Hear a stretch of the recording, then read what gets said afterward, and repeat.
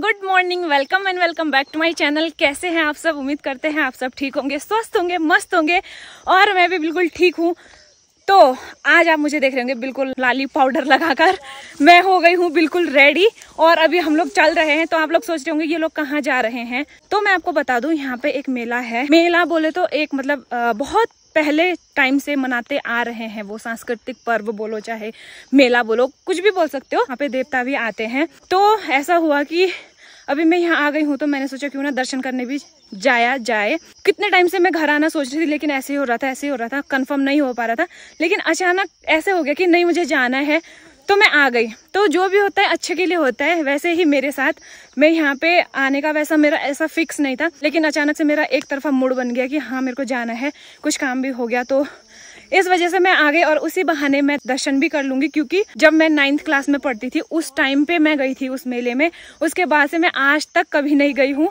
तो मैंने सोचा, चलो, जब किसी बहाने से हम यहाँ आ ही गए हैं इस टाइम पे तो क्यों ना जाकर दर्शन भी कर आए। और अभी हम लोग हैं अपने खेत में, हम घर से निकल चुके हैं।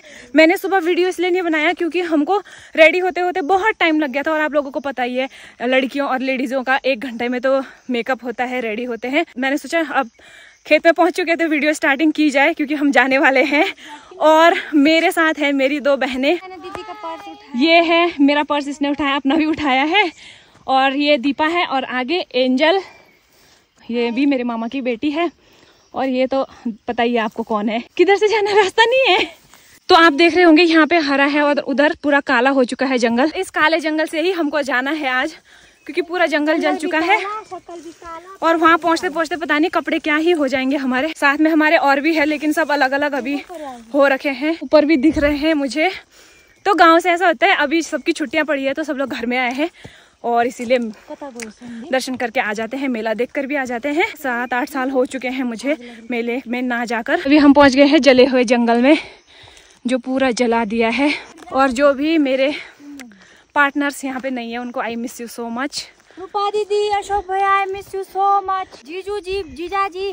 जीजा जी का गिफ्ट हाथ में पकड़ा है। सो मच मेरे पंखा लाने के लिए। आ, मेरे लिए पंखा लाने के लिए। तो इसको मैं घर लेके आई थी जो हाथ वाला पंखा है। और पैदल चलने के लिए बहुत ज़्यादा है गाइज़ यहाँ से इतना दूर है इतना दूर है। मतलब हमने अपने रिस्क पे जाना सोचा है तो भगवान के नाम पे तो जा ही सकते हैं। और इधर गाइज़ गुच्छिया मिलती है। आप लोगों को पता नहीं होगा। पता होगा किसी किसी को, सबको नहीं होगा। गुच्छी होता है, जो बहुत मतलब औषधि दवाई का काम भी करता है जब उसकी सब्ज़ी खाते हैं तो वो बिकता भी है, उसको खरीदते भी हैं लोग। खरीद कर फिर आगे बेचते हैं, ऐसा चलता है। तो यहाँ देखो, अभी हम ऐसे से जा रहे हैं। वाह शाम तक ये ब्लैक हो जाएँगे व्हाइट से। कलर करने की ज़रूरत ही नहीं है। चलते हैं, आपको भी लेके चलते हैं, आपके भी दर्शन करवाएँगे। अभी हम कर रहे हैं यहाँ पे वेट। क्योंकि हमारे भाई और बहन लोग आ रहे थे। और यहाँ पे एकदम छाया छाया हो रहा है तो हम लोग यहीं पे बैठना ज़रूरी समझा और ये हम इधर बैठे हुए। और नाम लेते लेते हमारा भाई साहब पहुँच गया है हमारे पास। और इसकी दीदी नहीं आई इसकी भाभी भी नहीं आई। कहाँ है वो लोग? वो भी आ रहे हीरो देखो। पहुँच चुके हैं मेन रोड में। ये देख सकते हो आप, सबसे आगे हमारा भाई चल रहा है और हम पीछे हैं। जंगल हमने पीछे छोड़ दिया है। अब हम मेन रोड में आ गए हैं। अब हम रोड ही रोड जाएँगे। और रोड से चलने के लिए भी कम से कम कितना होगा? दो तीन किलोमीटर तो होगा लगभग। इतना पूरा आइडिया नहीं है मुझे, लेकिन आइडिया मार रही हूँ ऐसे तो अभी चलते हैं, चलते चलते कहाँ तक पहुँचते हैं? अब आगे आगे पता चलेगा। यहाँ पे देखो कितना सुंदर घर बनाया है। इधर सेब का बगीचा है तो यहाँ पे घर बनाया है। मुझे घर बड़ा पसंद आया। और मेरी बहनों को सिंगर बनने का शौक चढ़ा है। यू नजरे ना फेरो तुम मेरे हो मेरे तुम कह दो ना कह दो ना यू आर माय सोनिया हम लोग और आगे पहुँच चुके हैं मतलब जहाँ पे पानी मिलता है हमको क्योंकि जहाँ से हम आए अभी तक वहाँ से बीच में पानी नहीं है। यहाँ पे है डायरेक्ट और यहाँ पे स्रोत का पानी आता है। तो हमारी लैंग्वेज में बोलते हैं मूल पानी बहुत ठंडा होता है और टेस्टी होता है। मतलब स्वाद अलग ही होता है इसका। जैसे शहरों में पानी का टेस्ट होता है ना, वैसा नहीं होता। तो अब हम लोग यहाँ से आगे जाएँगे अभी बहुत है चलने के लिए। ऐसे थोड़ा ना मैं अपने भाइयों को बोलती हूँ, बहुत समझदार है। एक चीज़ दिखाऊँ आप लोगों को? ये देखो, दोनों बहनों का पर्स कंधे में डाल के चल रहा है बेचारा। हम लोग फ़ोटो खींचने लग गए वहाँ पे और ये पर्स लेके चलते जा रहा, चले जा रहा। इस अभी चलते चलते मेरे पैर कट गए हैं जूते से पूरा। जूते मेरे हाथ में है। ये देखो रोड और मेरे पैर की हालत देखो, कितने सुंदर हो रहे हैं। तो मैं चल रही हूँ खाली पैर। मतलब नंगी पैर चल रही हूँ मैं, जूते नहीं पहने मैंने, क्योंकि इससे ना पीछे वाला हिस्सा लेदर का है तो इससे कट भी रहा है। हम पहुँच चुके हैं कोटी गाँव के नज़दीक और अभी भी मैं नंगे पैर ही हूँ। और ये आपको जो सामने दिख रहा है, ये है कोटी गाँव। और जो ये कोटी गाँव से आपको ये दिख रहा है ना देवदार वाला हिस्सा। यहाँ पे लगना है मेला जहाँ पे देवता आएँगे। और जो आप उधर पार गाँव देख रहे हो, कल वहाँ पे देवता रुके हुए थे। तो आज वहाँ से निकलेंगे और यहाँ आएँगे। तो वहाँ पे ढोल की आवाज़ आ रही है, क्योंकि जब देवता वहाँ से निकलते हैं तो ढोल बजता है। उसी से पता चलता है कि हाँ देवता निकल रहे हैं। शायद हम पहुँचने वाले हैं। और मेरे, आ, देख तो सुनती मेरे पैर में कुछ चुभा है। पर यहाँ तो गई अभी मैं नंगे पैर ही आई हूँ ऐसे में।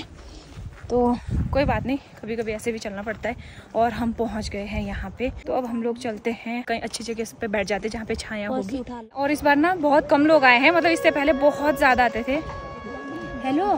तो ये जो बज रहा है, इनके स्वागत के लिए जो देवता आने वाले हैं। महाराज थोड़े नज़दीक पहुँच गए हैं। सामने रास्ता देख रहे हो, यहाँ पे आएँगे। मतलब हमेशा यहीं पे आते हैं तो हम इस बार यहीं पे बैठे हैं देखने के लिए। और जितना हो सकेगा, मैं नज़दीक से दिखाने की कोशिश करूँगी, लेकिन मुझे ज़्यादा नज़दीक जाने में डर लगता है, क्योंकि बहुत ज़्यादा भीड़ होती है। इस बार इतना ज़्यादा नहीं है, फिर भी बहुत से लोगों को देवता आता है। मतलब देवता का जो रूप होता है, किसी लड़कियों में, लड़कों में आता है तो उनको देख के ना मुझे डर लगता है। तो नज़दीक जाने में थोड़ा मैं डरती हूँ।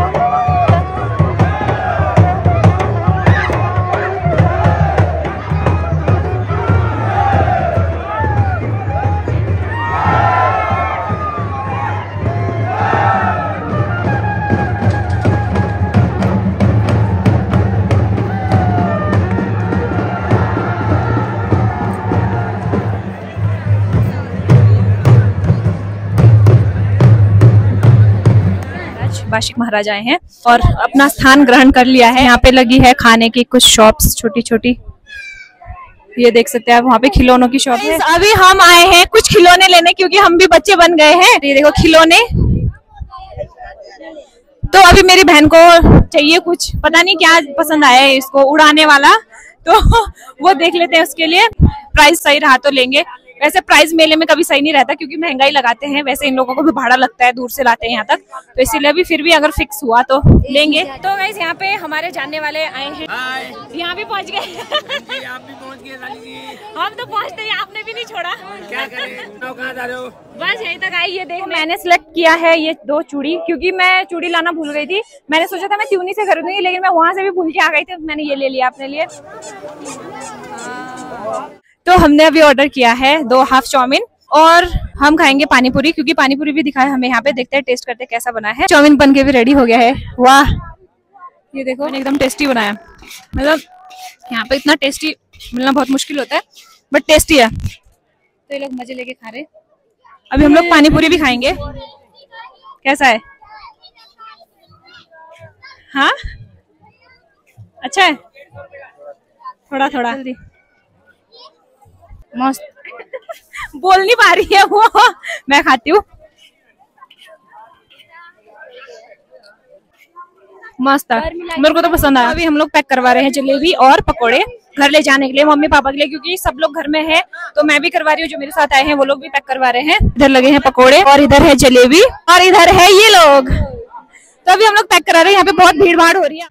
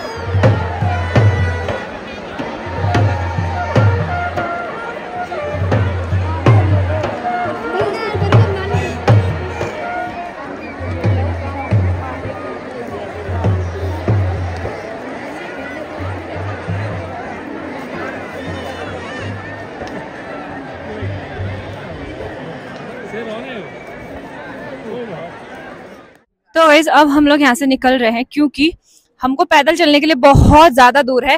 तो अगर हम लोग लेट करेंगे यहीं पे तो हमको वहाँ पहुँचने में बहुत देर हो जाएगी और अंधेरा हो जाता है और जंगल का रास्ता आप सबको पता है, सब बहुत प्रॉब्लम होता है।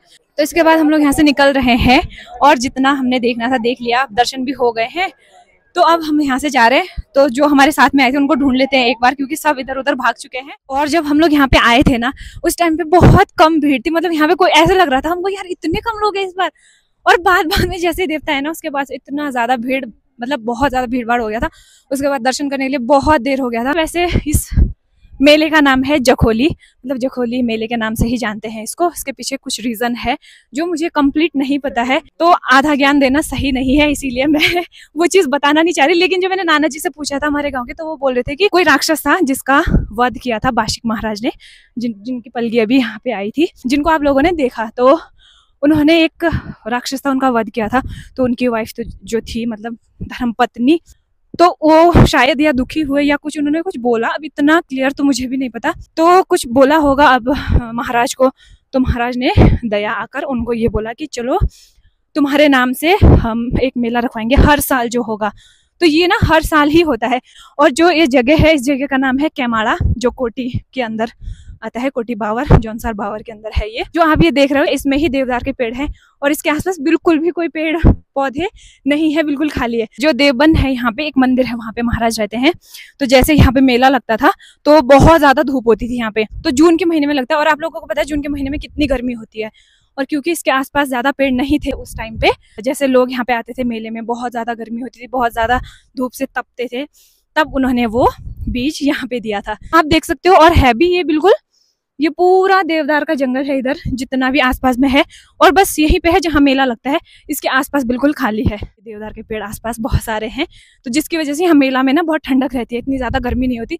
जबकि इतनी भीड़ भाड़ होती है, उसके बाद भी इंसान वहाँ रह के अच्छे से दर्शन कर सकता है, खा पी सकता है, उसके बाद आराम से घर आ सकता है।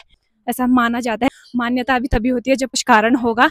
तो ये मान्यता है जो सब लोग मानते हैं यहाँ पे। और जो ये मेला लगता है जखोली का इस जखोली में ही बाशिक महाराज अपने दर्शन देते हैं। मतलब साल में एक बार अपने गर्भगृह से बाहर आकर जितने भी उनके श्रद्धालु हैं, उनको दर्शन देते हैं। जून के महीने में जो ये मेला लगता है, साल में एक बार ही उनको देखने को ऐसे मिलता है, उनकी पलकी बाहर निकलती है। बहुत दूर दूर से आते हैं यहाँ पे लोग दर्शन करने के लिए। मतलब कोई भी कहीं काम पे है, कुछ भी है अगर हो सकता है तो वो टाइम निकाल कर आते ही है। अब इसमें कोई गलती होगी, मेरे से तो माफ़ कर देना, क्योंकि मुझे इतना ज़्यादा नहीं पता, जितना मुझे पता था, जितना मैंने पूछा, आज तक हम जितना देखते आए हैं, मुझे उतना ही पता है। हो सकता है इसके बारे में और लोगों को बहुत ज़्यादा पता हो, मेरे से ज़्यादा ज्ञान हो। तो उसके लिए सॉरी अगर कोई गलती हो गई होगी, जितना मुझे पता था, उतना बताना मेरा फ़र्ज़ है तो मैंने बता दिया। अभी हम चल रहे हैं यहाँ से, और हवा चलना स्टार्ट हो गई है, मुझे डर लग रहा है। आगे आगे ये लोग हैं, दो सवारी, तीसरी मैं हूँ। तो बाकी लोग हमसे आगे चले गए हैं। उन्होंने हमें कॉल भी नहीं किया जब जा रहे थे तो हम अकेले रह गए अभी। कोई बात नहीं हम चलते हैं और आराम आराम से हम पहुँच ही जाएँगे। घर शाम को घर ही पहुँचना है। बस वही है हवा ना चले। अभी हम पहुँच चुके हैं वापस उसी जगह में जहाँ से हम गए थे। और जाते वक्त जहाँ से हमने पानी भरा था पानी पिया था ठंडा ठंडा पानी। एक बैठी है इधर थक हार के एक भर रही है वहाँ पे पानी। यहाँ पर है एकदम ऑर्गेनिक नेचुरल नेचर से निकला हुआ पानी। और इधर इतना जड़ी बूटी है घास वगैरह है। इसीलिए ना गाँव के पानी में इतना ज़्यादा बीमारी नहीं होता है। ना उसमें कुछ मिलाना पड़ता है कीटनाशक ये क्या क्या डालते हैं कुछ जो ब्लीचिंग पाउडर कुछ डालते हैं शायद शहरों में। तो वो कुछ चीज़ की ज़रूरत नहीं होती है यहाँ पे मतलब मज़े से आप पी सकते हो पानी कहीं भी बैठ के। पर आपको देखना होता है कि साफ़ है या नहीं। लेकिन जो ये स्रोत आता है ना ज़मीन से निकला हुआ पानी। ये गंदा नहीं होता, एकदम साफ़ होता है, प्योर होता है तो गाइज़ अभी हम पहुँच चुके हैं अपने घर के सामने, जहाँ पे एक बार हमने बर्थडे सेलिब्रेट किया था मेरी बहन का छोटी वाली। और हम लोग कुएँ के पास बैठे हैं, अभी बड़ी मुश्किल से पहुँचे, इतना बुरा हाल हो गया और जुत्ती जो मैं पहन के गई थी मतलब इतना फट गया है ना, वो मैं क्या बताऊँ? और मेरे पैर काट दिए पूरे। जुत्ती का हालत देखो गाइस चलना तो चलना, ऐसा भी क्या चलना कि जूता फाड़। यहाँ देखो गाइस छाले पड़ के और ये पैर की हालत देखो धूल की वजह से जंगल में चलने की वजह से। मतलब इतना गंदा हालत हो गया है ना क्या बताएँ? ये देखो ये गई है मेंढक ढूँढने क्योंकि यहाँ पे ना आवाज़ कर रहा है मेंढक। ये जो सामने दिख रहा है आपको ये है हमारा गाँव। यहाँ पे जाना है हमने अभी। अभी बज रहे हैं छः तो छः बजे तक हम वापस घर पहुँच चुके हैं। और आज हवा नहीं चली भगवान की कृपा से। अभी तक मतलब हमारे घर पहुँचने तक हवा नहीं चली। तो हम सही सलामत अच्छे से घर पहुँच गए और अभी हम थोड़ी देर यहाँ पे रेस्ट कर रहे हैं, बैठ रहे क्योंकि यहाँ पे ना बहुत शांत सा जगह है, बहुत अच्छा है मतलब बैठने के लिए भी सही है, लेकिन बैकग्राउंड में ना पूरा ये जला हुआ आपको दिख रहा होगा, ये जंगल में आग लगने की वजह से। दो बार आग लग चुका है यहाँ पे, पहले भी लगी थी और दोबारा अभी फिर से जल गया है ये। बारिश भी नहीं हो रही, अगर बारिश होती तो फिर घास जम जाता तो सही रहता, लेकिन बारिश ना होने के कारण जंगल में घास भी नहीं है। और आज अच्छा लगा मतलब दर्शन करके अच्छा लगा बट चलने में हमारे को इतना आफत आता है ना इस क्या बता यहाँ पे इतनी मस्त ठंडी हवा आ रही है मतलब एकदम मज़ा आ रहा है। ये हमारा फेवरेट जगह है ना इसलिए। हम जा रहे हैं घर की ओर अंधेरा होने वाला है धूप भी चले गई है। जब हम लोग आए थे उस टाइम धूप यहीं पे थी। तो इसने एक रील भी बनाया। एक रील बनाने के चक्कर में हमको इतना लेट हो गया। ये हमारी वीडियोग्राफर थी बेचारी। इसका इंस्टाग्राम है नहीं अभी छोटी बच्ची है स्कूल पढ़ती है। फ़ोन भी नहीं है रील भी नहीं है कुछ भी नहीं है। तो अभी हम जा रहे हैं घर की ओर और इस वीडियो को ही खत्म करते हैं आज के लिए इतना ही क्योंकि ज़्यादा लंबा वीडियो बनाकर भी कोई फ़ायदा नहीं है। और मिलते हैं नेक्स्ट ब्लॉग में। वीडियो पसंद आए तो लाइक शेयर एंड सब्सक्राइब ज़रूर करना। और इस वीडियो में अगर कोई गलती हो गई होगी मिस्टेक हो गई होगी तो कृपया मुझे माफ़ कर दे। Bye bye take care bye bye guys bye bye bye like share and subscribe